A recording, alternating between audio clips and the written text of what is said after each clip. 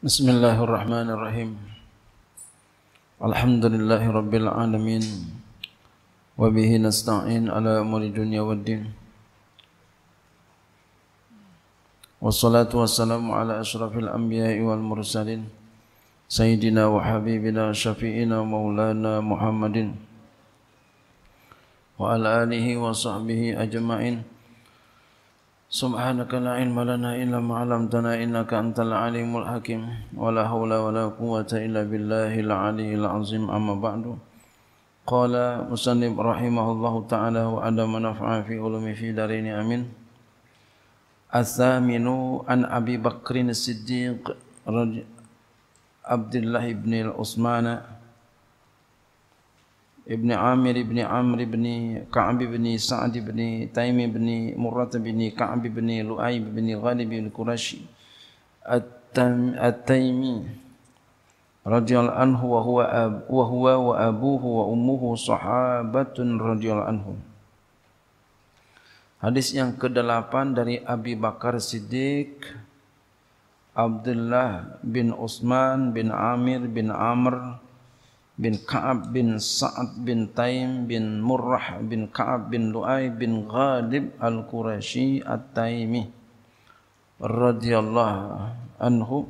Wa huwa dan beliau Abu Bakar wa abuhu dan bapaknya wa umuhu dan ibunya sahabatun adalah sahabat radhiyallahu anhum. Jadi disebutin seperti ini Kenapa? Karena sahabat itu mulia. Jadi beliaunya, bapaknya, ibunya sahabat. Qala nazartu ila aqdamil musyrikina Atau beliau aku pernah melihat aku telah melihat ila aqdamil musyrikin kepada kaki-kaki orang-orang musyrik wa nahnu fil ghari dan kami berada di goa. Wa um dan mereka ala ruusina berada di atas kepala-kepala kami. Ya. Fakultu lalu aku berkata ya rasulullah wa ya rasulullah lau anna ahadahum jikalau bahwa salah seorang di antara mereka itu nazara dia melihat tahta qadamai ke bawah dua kakinya la abasarna. Niscaya kami lihat. Faqala maka ia berkata la abasarna gitu ya. La abasarna niscaya dia melihat kami. Di beda kalau abasarna dengan abasarna ya. Kalau abasarna nanya jadi fa'il. Abasarna nanya jadi maf'ul bih la absarana nisaya ia melihat kami. Jadi kosongnya kan apa? Di bawah. Dia di atas. Kalau dia lihat kakinya ke bawah, dia akan lihat kami. Faqala ma zannuka ya Abu Bakrin bisnaini Allahu salisuhuma. Lalu ia berkata, apa sangkaanmu ya Abu Bakar dengan dua Allah itu yang ketiganya. Jadi kalau kita berdua, yang ketiga adalah Allah.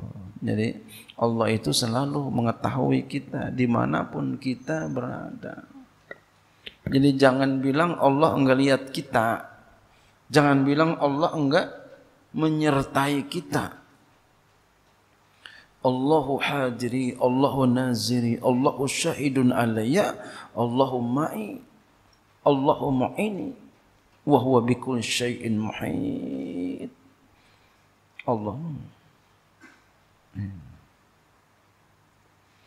Muttafaqun alaih.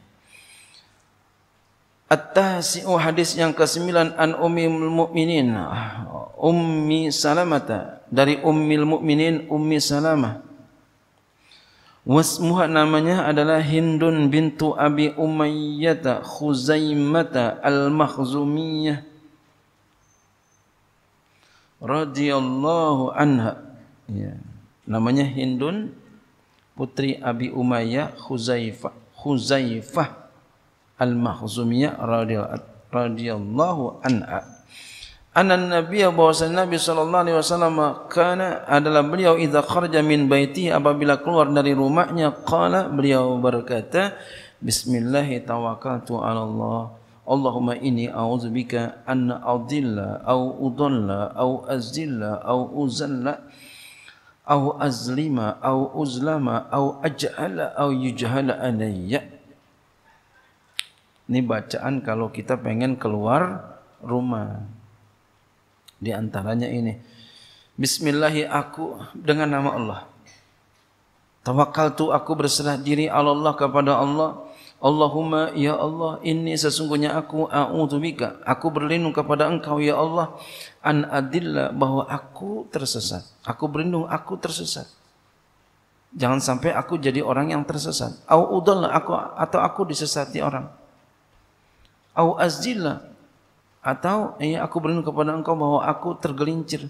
Au uzala aku atau aku digelincirkan orang.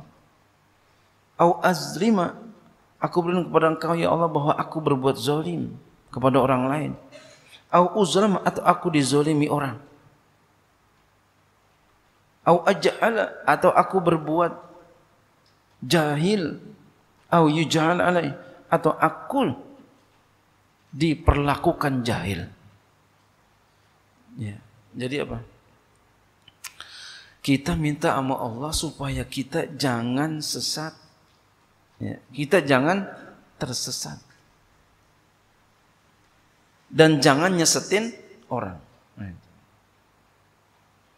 Kita jangan tersesat atau kita di ya, disesatin orang. Kita minta sama Allah.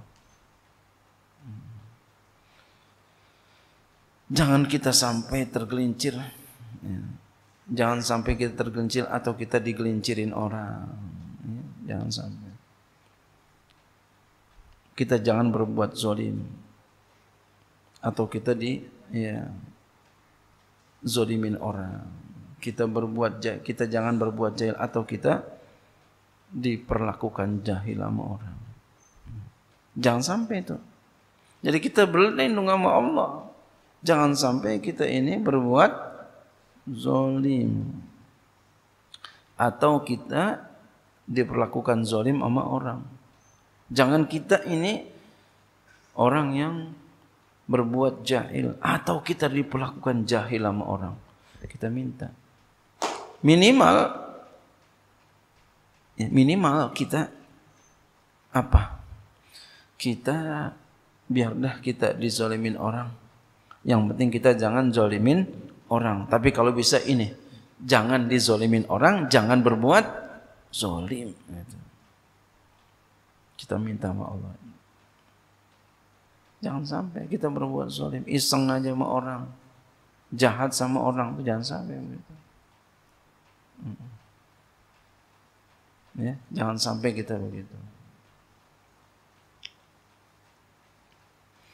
Hadisun sahihun rawahu Abu Dawud wa Tirmizi wa ghairuhuma bi asanid sahihatin qala Tirmizi wa hadisun hasanun sahihun wa hadha lafzu Abi Dawud Ini hadis sahih diriwayatkan oleh Abu Dawud dan Tirmizi dan lain keduanya dengan sanad-sanad yang sahih. Berkata Imam Tirmizi ini hadis hasan sahih dan ini lafaz Abi Dawud.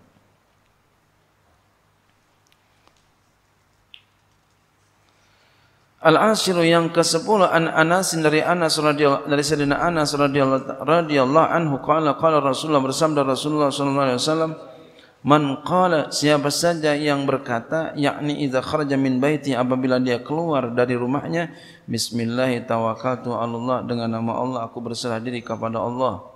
Wala haula wala quwata illa billah. Tidak ada tuhan kecuali Allah uh, tidak ada daya ya tiada daya dan tiada kekuatan kecuali kepada Allah.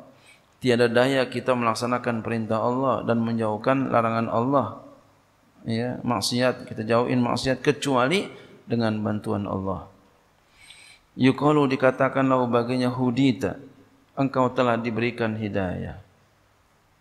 Wa kufita dan engkau telah dicukupkan di ya engkau telah dicukupkan. Hmm. Maksudnya apa? Kalau cukup ini dijamin, ya?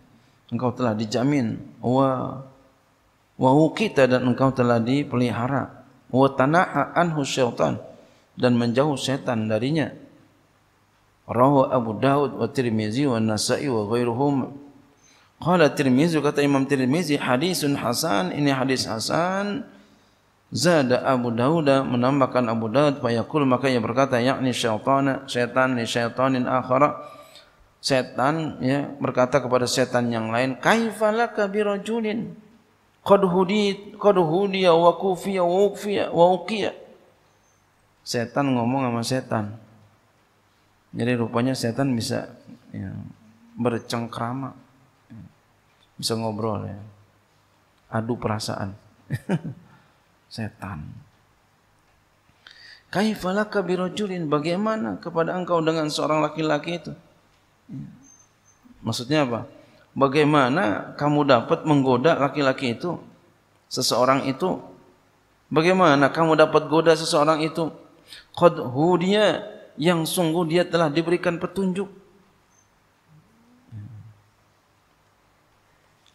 Diberikan petunjuk tuh. Orang yang baca yang keluar dari rumah bismillahirrahmanirrahim tawakkaltu 'ala Allah wala haula wala quwata illa billahil aliyil azim. Baca itu. Jadi kalau begini rupanya setan godain kita kalau kita keluar rumah.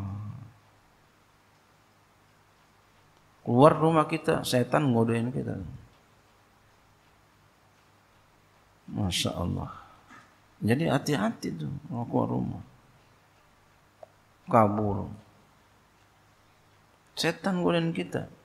Ini udah dibacain begini aja, udah baca begini aja, setan masih godain. Sampai bertanya setan sama setan.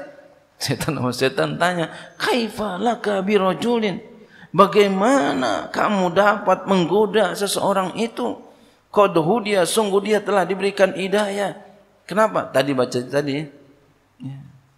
Bismillahirrahmanirrahim. Wala Allah wala quwata illa billah. Dia baca itu. Tapi itu setan masih mau goda juga. Akhirnya ditanya sama setan yang lain. Ente bagaimana? Bisa goda dia. Ya.